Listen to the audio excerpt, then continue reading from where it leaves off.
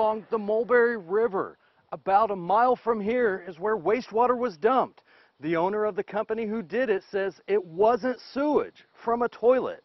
These pictures from Arkansas Game and Fish officers show hoses and the ground covered with a gray material. They were investigating to see if it was raw sewage from portable toilets at the Wakarusa Music Festival. People in the area were worried.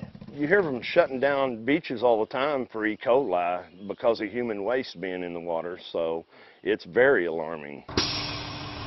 Roy Day owns this septic tank service company. He says water from showers at Wakarusa was what he dumped and not raw sewage. He did not want to do an interview, but said he had permission and the proper permits from the state to do it.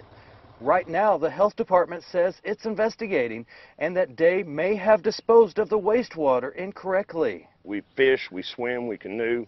Uh, we have a lot of out-of-state guests that come here and canoe this river. It means everything to us. It, you know, there's only one Mulberry River. The health department says the waste was spread far enough away, so it should not affect the Mulberry River. In Franklin County, Brett Rains, 4029 News. Now, the health